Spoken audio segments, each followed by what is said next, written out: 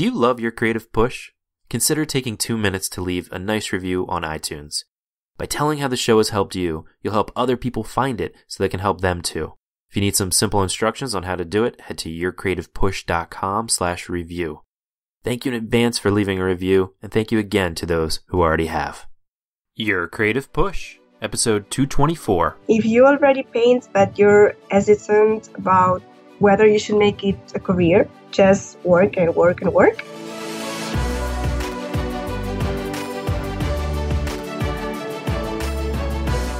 Welcome to Your Creative Push, the podcast that pushes you to pursue your creative passions. I am your host, Youngman Brown, and my guest today is Marta Nael. Marta is a Spanish artist currently working for Ediciones Babylon as an artist and art director. She has a love for all painting techniques using both digital and traditional media. After completing her fine arts degree, she specialized in concept art and matte painting. This allowed her to develop her own style, which could be described as a game of light and color, or digital impressionism when it comes to digital media. Marta has published four books, and her latest being Sketchbook 2. Marta, welcome to the show. Thanks. Hi. How are you doing? Uh, doing very well. Thank you so much for being here. Thank you for inviting me. Of course. Um, so I was hoping maybe we could start out by uh, with you kind of sharing how you got to the point you are today in your creative career, uh, a brief kind of bio, if you will. Sure. I would say that I've been drawing as far back as I can recall. I remember myself painting and drawing and always having, you know, crayons and pencils in my hands and my clothes were always dirty and full of paint too. mm-hmm. And also my first memory would, would be when I was at elementary school and my teacher told my parents to enroll me to an art course after finishing my classes. And there I started to use uh, acrylic oils and pastels. So I would say that my love for art began at an early age also at um, high school, I used to draw on my notebooks with my pen. And I would say that I was uh, quite a good student. So they didn't complain about that, which was mm-hmm. fine. so I was really lucky. And I also remember always telling people that I want to be an artist. And I guess that thought, they thought that I would change my mind when I grew up, but I didn't. So I started to study fine arts and first day, I would say was really shocking because I had spent my whole life copying masters and doing studies.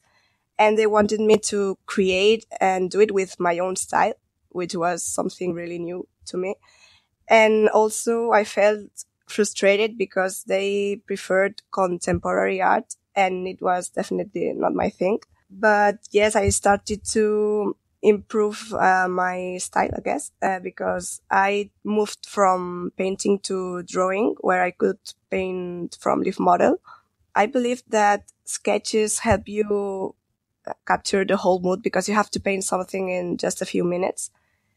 And also I would say that in fine arts, I started to play with light and color and this defined me as an artist later last year, I remember that I moved from um, traditional to digital. I wanted to try it out. And also I started to upload um, my paintings to social networks. And due to that, I guess that I had my first commissions. It was six years ago when I started working for Ediciones Babylon. And yes, as you said, I've published for art books and that's it. This is where I am today. Very cool. Got us up to speed. uh, I wanted to kind of touch on the idea of traditional style, and that wasn't really for you, and you kind of had your own type of direction that you wanted to go with your own style. So when your, I guess your art professors were kind of pushing you to go in a different direction, is that is that fair to say? Yeah, maybe because I would say that people uh, usually start with a line sketch Mm-hmm. And they introduced me to a different kind of process where you had to start uh, filling the whole canvas with a neutral color similar to the color scheme you have in mind, you know, and then uh, you go about um, defining surfaces by adding color and erasing color and then painting over it, but you can also erase it again. So it's some sort of uh, sculpture process where you paint the background and the character at the same time. I found it really interesting because it was uh, different to what people usually do. So um, the only problem was with the subject because uh, they wanted me to do different subjects to what I'm used to paint, like uh, women or, or virus. They wanted me to paint, I don't know, maybe paint some rubbish and some things that are next to you, but they didn't make sense because it was like uh, destroy everything or I don't know how to mm-hmm. say that. So yes, and then when I moved to drawing classes in fine arts, the professors were different and they introduced me to this kind of different process um, based in light and color. Right.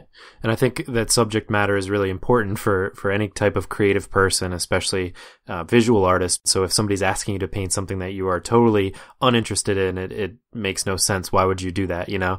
Yeah. So, uh, I think the advice there is to kind of ins- despite what kind of people want you to do, especially if you're in school, is to do that thing that you want to do because otherwise there's really no point. Yeah, sure.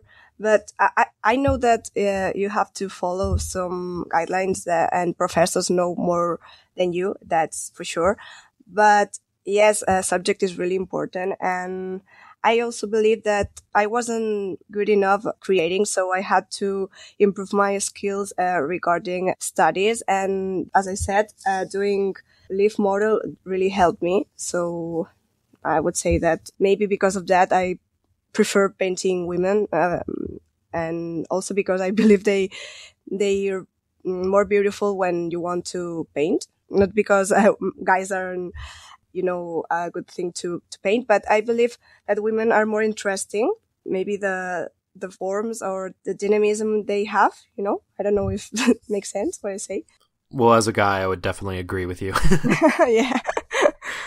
So I was wondering, could you talk a little bit about the transition then from uh, traditional art to digital art? You said you started that uh, your last year uh, at school. Mm, yes, at Fine Arts, but they were completely against it. They wanted me just to use traditional media. But in my last year, I had to do, I don't know how you say that, um, your final. Like a senior portfolio? Yeah, something, something like that. And I saw some matte paintings, some Dylan Cole and Raphael Lacoste matte paintings. And I thought, I want to do that. I want to be able to do that. So I started to try out um, digital media. I remember a professor told me that they would have gave me a better mark if I, it was traditional. And I said, why? It's just a technique and you're painting as well. But it, they, they have that kind of thought that if you're using digital, um, the program will make everything for you or something like that. Which is not the case. No, because um, it's just the same. You're painting. It's just a different technique. Right. And I think that's kind of a mindset that obviously you know professors or people that have been doing it for a long time that's their thing you know they they know that world so well the traditional art. And I think that that's something that holds a lot of people back. And that, that's a question that I've been asking a lot of artists recently that, that do use digital painting is how to get past that block that I think some people have that they think that when they delve into the digital world, they use the, these digital tools that it's, um, cheating or, or something in a way, or it's not authentic, if that makes sense. So how do you get past that? I believe that each one brings you a different opportunity to improve your skills. So each one has its pros and cons. Maybe if you choose digital, you can create any color you want because I would say you can use really vibrant colors and maybe traditional has more trouble in this regard. It's the only thing I would say. And, but yes, as you said, traditional art also has more value because you have an original painting which is unique. But I would say that I love both techniques. And maybe if I'm painting digital uh, one day, then the next day I will paint mm, with traditional media. So it's both fine for me. so as you mentioned, like your professors uh, were kind of pushing you to, obviously they said you'd get a better mark if you had done it traditionally. Mm-hmm. So is it fair to say that you were like completely self-taught then when it comes to digital uh, painting? I wouldn't say that. I, I was trying digital on my own, yes, but I was always checking artists' works. So they inspired me a lot. And I was also looking at some tutorials and videos. and does that same type of kind of getting inspiration from other people, does that apply to uh, when it comes to coming up with concepts because like when it comes to concept art i think obviously the key word there is is concept. So how do you come up with your concepts? Do you wait till you have an idea in your head and then get to work? Or do you um, do some kind of other like exploration like looking at other artists to help you kind of come up with an idea? Um, i believe it's a bit of both. I spend a lot of time browsing through uh, uh, folder I have, which is kind of inspiration folder. And also, um, I follow loads of artists at social networks.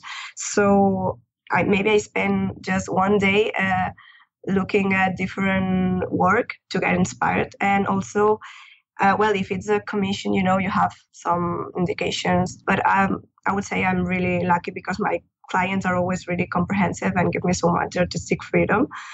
But if I had to name a few artists that inspire me, I would say that Turner and Spanish artist Sorolla too, because of the their use of color. So my influences uh, are mainly traditional, but also, as I mentioned, digital as Dylan Cole and Raphael Lacoste because of their matte paintings. James Gurney and Nathan Fox because of their use of color too. Um, also, uh, I would say that fantasy and sci-fi inspired me a lot. It was because of my dad, which was really into this kind of book and, and films, you know, Tolkien and Star Wars series, for example.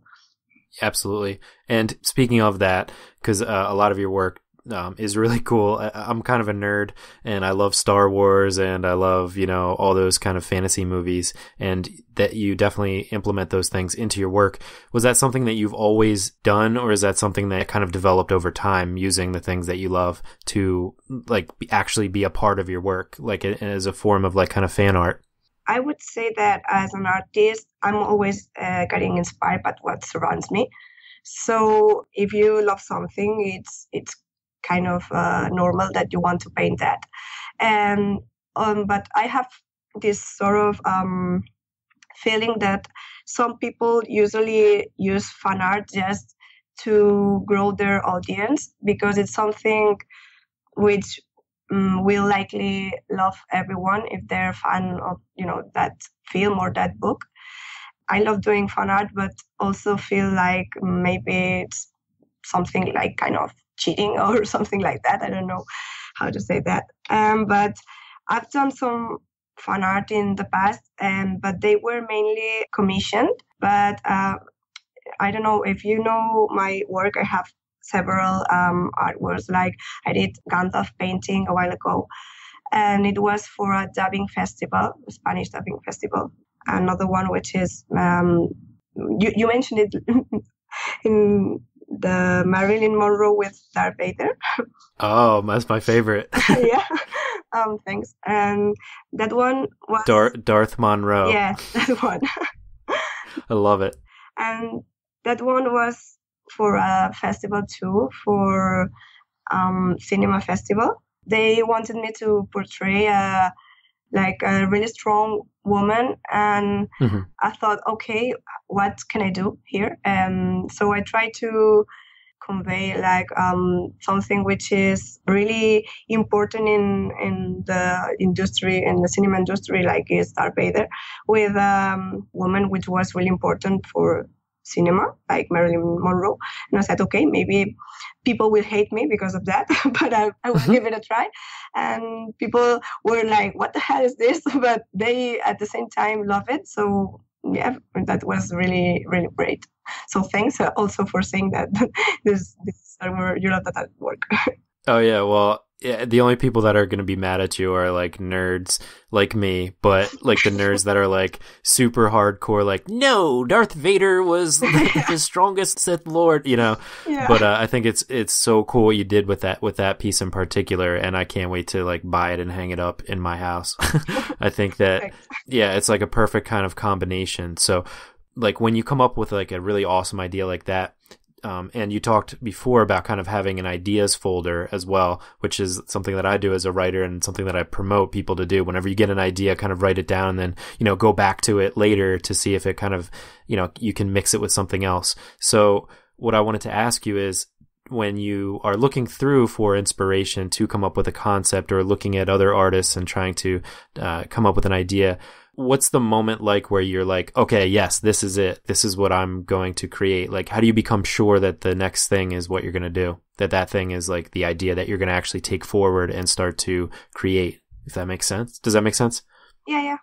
I I always start by um, I don't know doing several sketches and a character which is uh, taking I don't know how you say that um, different compositions mm-hmm. and try to I don't know how which moment makes me feel like it's the correct one, but uh, you know it. Uh, it's it's like this one will work when I paint this and when I finish it, and maybe it's because the whole mood can be um, perceived at first sight because you can imagine it in your head and say, yeah, it will work like that. So you you come up with like a overall concept and then you put that kind of character into different positions or different um situations if that makes yes. sense yeah yes. and then whichever then a, uh, there's kind of a eureka moment where it's like oh yeah this is the one but it's yes. like experimenting until you get to that point yes uh, but also there is that moment when you have to if you have a, a commission you have to send several sketches to to your client and maybe you want um, that he, uh, they choose a sketch a particular sketch and you send them four and they choose the one you hate the most and it's like no you have to choose the other one what happens when when that when that does happen like what do you what do you do do you like try to convince them to pick a different one or do you just go with it uh, sometimes I, I I tell them uh, maybe that one will work better because of this and this and this, and mm-hmm. sometimes it works.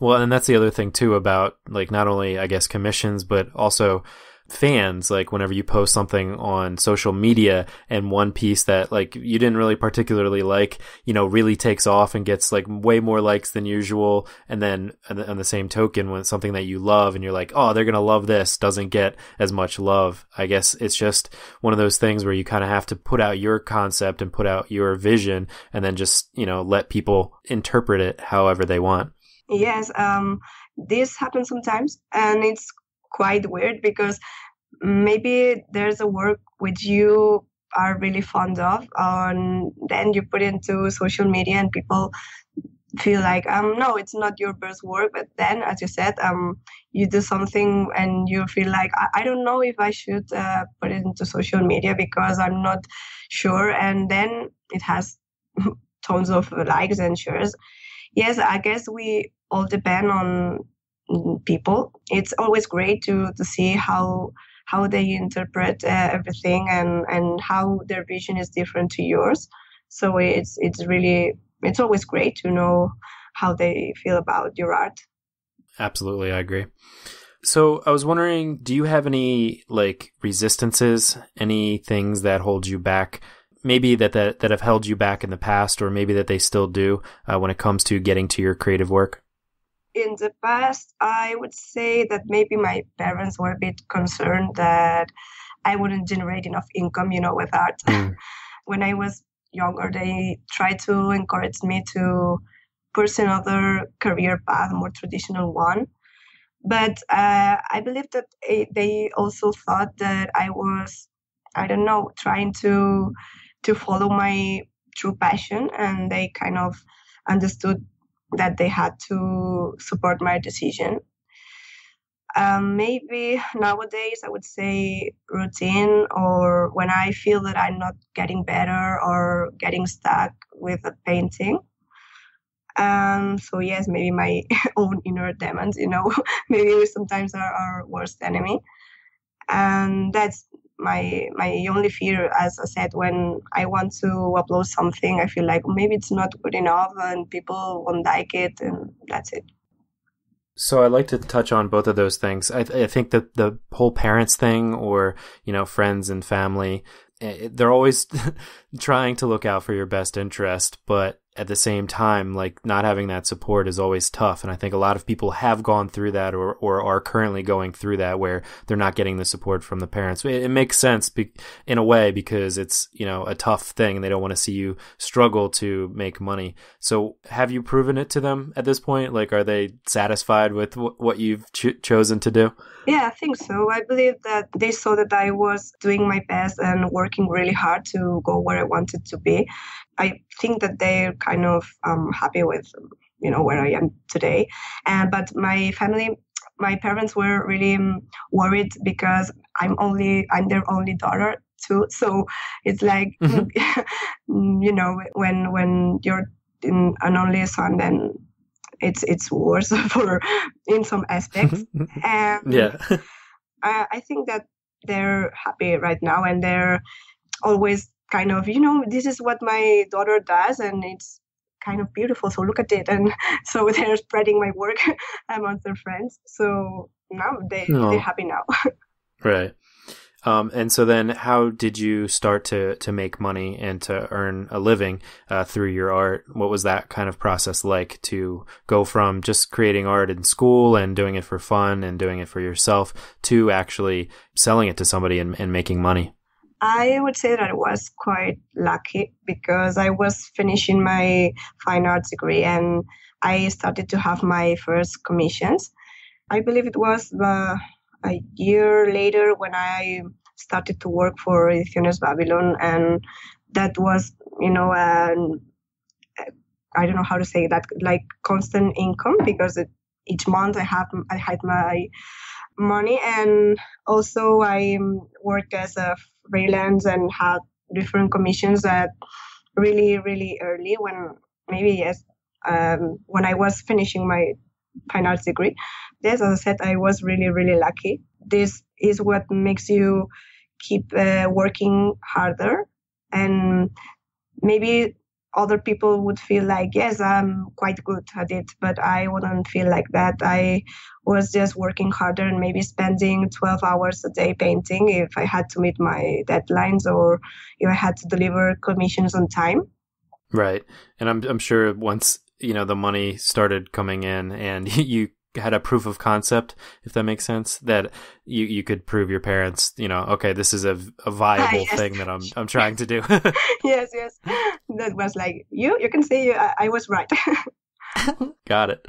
And so, and then the second thing you talked about, which is something that I think almost everybody struggles with, is that idea of you know having your own inner demons be kind of the worst of yes. of of your demons and so whenever you get that that piece that you're like, oh, I don't know if this is good and people won't like it, how do you then get the strength or the courage to you know upload it and post it anyway to share it to people? Um, sometimes I, I, wouldn't do it. I, I, I have some some artwork which I've never uploaded anywhere. Right. Of course. Yeah. and when it comes to social media, you have that sort of um, feeling that if you want to upload something, people will forget that you're there. Or sometimes if I don't have anything to upload, I say, okay, let's give it a try and let's upload that piece that um, you don't like. But that's it, um, I would say. Yeah, it's kind of waiting, maybe like holding off on that that one particular piece that you're not completely confident about until you do have that kind of lull where you're like, all right, this is like a, a downtime and I need to need to post something to keep my fans happy, to keep the uh, keep the peeps happy. Mm-hmm. yes, that's it. Marta, I was wondering, do you have uh, either a best or, or worst moment when it comes to your creative uh, career? Um, when you have to paint daily, you lose that freshness that you have when you paint whenever you want because you have to paint to to generate income you know? And so it's like you lose that sense of um, being your passion. It's like art is your work and not your passion anymore. So when i get home i feel like i don't want to paint anymore and not even touch a pencil you know? I feel kind of sad because I used to be painting uh, when I lived with my parents uh, the whole time.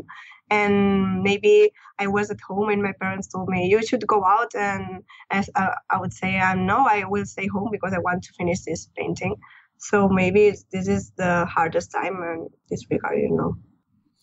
Yeah, and I think you touched on one of the the main themes of this podcast is especially when people have a full-time job that isn't in the creative interest that they have. Like me, for example, when I come home from work, I actually just got home. I just got home from work an hour ago, and it's like you, just you know th- this of course is easy like this is wonderful to be able to talk to to somebody and just have a conversation about this stuff but you know when it comes to editing or you know uh, even the, the writing it's like you just are drained from all that work and you just you know the last thing you want to do is is more work. So do you have any tips then for people to um, when their creative passion turns into something that feels like work it feels like a job and you don't have that kind of passion anymore um, to kind of get past that?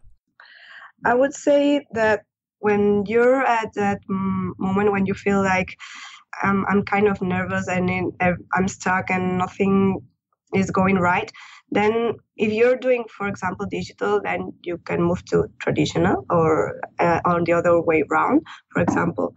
Or go out a bit and have some beers with your friends and then maybe later will everything will go smoothly i don't know. Mm-hmm. and that's what i try to do because as i said it's kind of sad feeling that painting is your work and not your passion anymore. So it's it's kind of difficult for me still difficult for me i love art and but i love also i don't know um reading or playing the guitar and, and so I try to find a balance between working and you know doing other other things that I love. And but yeah, sometimes maybe there's one day where you think you feel um, I will I will spend uh, 12 hours and I wouldn't do anything right, and maybe another day with one hour you're doing more than the last uh, couple of days. I don't know. I would always give the same advice that you have to work, work, work, and work again and work harder. If you get stuck, just change, go and do another thing, and then come back, and everything will go fine. Right. It's all about that balance, and I think the the advice as well is to enjoy your creative passion like to have that time be like a passion and where it doesn't feel like work and then it, when it starts to feel like work that is like your body or your mind telling you that you do need a little bit of a break but then when you're taking the break to like actually take a break. I know for me, something that I struggle with is when I'm taking a break, I'm like, all right, I'm going to take the day off or I'm going to take, you know, this hour off. I'm going to watch this show that I haven't watched or a movie, go to the movies to not think about the work that still needs to get done that you're taking a break from, you know, to really be in the moment, if that makes sense. That's something that I struggle with, but it's yeah, something yeah, that yeah. I'm really, really trying really hard to enjoy the, the time that I do take off to kind of enjoy that time. It happens to me too and because especially if you have your cell phone with you because you can always yeah. uh, you know you're maybe you're at the cinema and you're like oh i like that and and i'm i'm gonna browse and browse it and, and then i'm gonna save it to that um, folder and everything you know and mm-hmm. also because you're always getting inspired by what surrounds you so you can see your work everywhere I don't know, maybe mm. in a, when you're looking at a friend and then some light is touching his, you know, his skin or her skin, and then you feel like, oh, this I want to capture that, and then add it to my painting later. And yes, it's like you're always, if you're an artist or writer or uh, whatever which is related to to art and being creative, you're kind of chaotic people. I don't know if that makes sense, and you're always an artist. It's not like a job. It's like a kind of a, a way of life or something like that. Yeah, it's like you see the you see the world through that lens as yes. a yeah, and you can't. It's like you can't turn it off. yes. cool. Um, so with all the different things that you do have going on, uh, we kind of already talked about this, but do you have like a formula for balancing your time?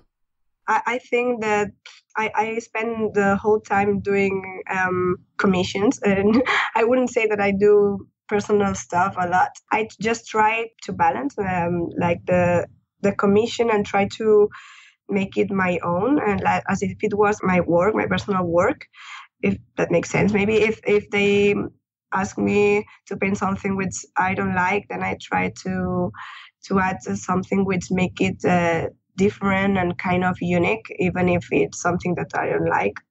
So I feel kind of frustrated because of that, because I'm always thinking about work and commissions, and I don't have much uh, freedom when it comes to painting personal work. Maybe when I do traditional paintings, I usually paint traditional uh, sketches and paintings um, for me and then try to sell them, if that makes sense. Mm-hmm. Mm-hmm. And it's not like commission work usually, but when it comes to digital, it's mainly commissions. I got you. That makes sense. I wanted to talk about your books, or in particular your your newest book, uh, Sketchbook 2 mm-hmm. Is that just uh, the the second iteration?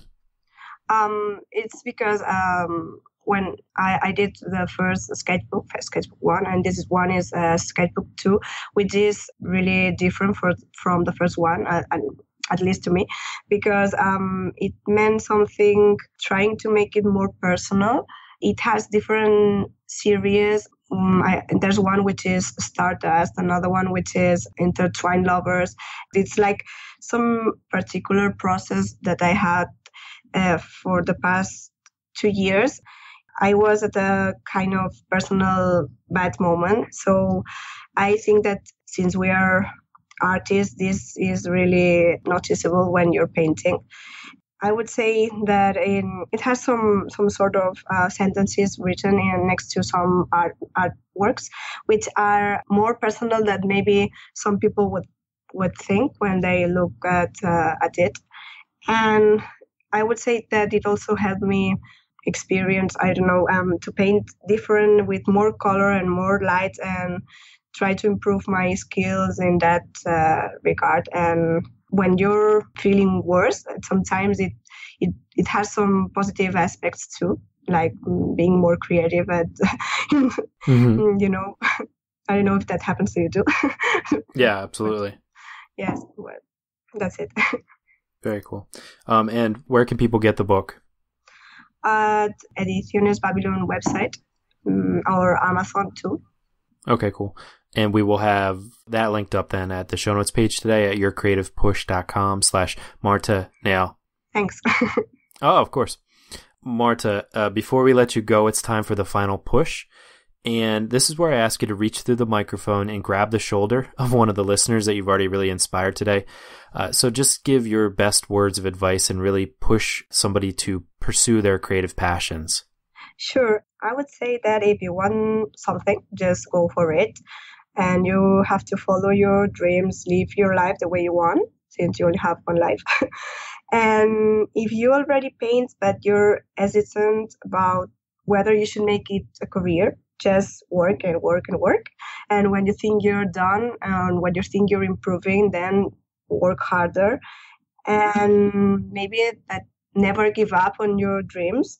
And this way you will overcome your limits and you will be happy and, and feel fulfilled. Absolutely. I love that. Work, work, work, practice, practice, practice. Yes. And just when you think you're done, work harder because there's always room to improve and you can always push the needle further. Mm-hmm. Uh, Marta, thank you so much for, for coming on the show today and for giving us that push. Oh, thank you for inviting me. And it was really great talking to you. And I hope that people find it useful. Absolutely. I know that they will. You can find Marta on ArtStation. She is Marta Nael. Uh, on Instagram, she is Marta Nael. And on Facebook, she is Marta Nael Art and that is M A R T A N A E L A R T. And you can find everything we talked about today again at today's show notes page at yourcreativepush.com slash Marta Nael. Marta, thank you again. Thank you. Um, I thank you once again to Marta for coming on the show. She brings up two really important resistances that I think a lot of us go through or have gone through in, in our creative lives. And the first being the lack of support from your parents. And I know that there's a lot of young people that listen to this show, so this is really applicable to you. But it's a completely valid concern, at least in their eyes, uh, because they want the best for you. They want you to have an easy life when it comes to making money that they won't have to worry about you and you won't have to worry about yourself. And I think that in today's world, you can become whatever you want to be. You can find a way, a path to make money from your art, from your creative passion, whatever it is. But it requires you to start to go down that journey, to start to learn how to make money, to start to learn that there are people out there that are willing to give you cash for your art. Your art is that important in the world that it has dollar signs next to it. And the better you become at your art, the more that you practice your art, the more that you research ways to make money from your art, the easier that path will seem. And especially if your parents or your loved ones do not think that this is a possibility, show them that it's a possibility. Tell them how important this thing is to you. And if you were able to make this thing into your career, for the rest of your life, how happy you would be from it, I think that they might understand and might be able to get on board with your goals so that it's easier for you to go down this path that is scary. But any path is scary when you are talking about going into the real world, especially when it comes to putting food on the table and a roof over your head. So the takeaway is to respect the people that don't necessarily think that you are on the right path, to understand where they're coming from, but to show them wrong, to show them how talented you are, to show them how much work you're willing to put into it, and to show them that it is possible, that other people have made a career for themselves in this way, and that you can do it too. All it takes is your passion and your hard work. And the second thing that uh, Marta dealt with that I think we all deal with is those inner demons that she was talking about, that self doubt, those voices in your head that tell you that what you just spent all that time creating really isn't good enough and you can start to see the flaws in it and you think that everybody else on the internet will be able to see those flaws once you post it. And that's something that can hold a lot of us back from building an audience, from sharing our work, from moving on to the next piece of work because we are too much of a perfectionist and try to fix all those things before we post it up. But it's so important to get by that so you can build an audience, so that you can move on to the next thing, and so that you can continue to get better. And like Marta said, some pieces are not meant to see the light of day. They're just meant to be kind of stored away and for your eyes only. But knowing the difference is something that comes from not only intuition, but experience and experience to trust that intuition. What really isn't your best work and what is actually great work, but you're just telling yourself that it isn't great work and that comes from doing it over and over again and really getting experience of telling that voice in your head to shut up so that you can actually critique your work with an honest eye, with a gut check. And we actually get into that next episode with Amy Kuretsky, who is a health coach, an acupuncturist, and herbalist. And she works with creative entrepreneurs to not only be their healthiest selves, but to be in touch with your gut, to be in touch with what your body and your mind is telling you about your life and your creative work. And you can find her at amykuretsky.com. That's A M Y K U R E T S K Y.com. And on Instagram, she is Amy Kuretsky. She also has a podcast called Health Fuels Hustle, which is on iTunes. We'll have that linked up on today's show notes page at yourcreativepush.com slash 224. But my thanks again to Marta today for coming on the show to inspire you and hopefully you were inspired to go and get your work done. So go and get it done, and we will be here for you on Monday. If you need the push again, have a wonderful, productive weekend. Head to the Facebook group to share the work that you've been creating this week at yourcreativepush.com slash group. I can't wait to see you there. But until Monday, have a wonderful weekend. I love you all. Go get to your creative passion, and we will see you next time. Bye. Never miss a push. Head to yourcreativepush.com slash subscribe to find the easiest way for you to subscribe to the podcast.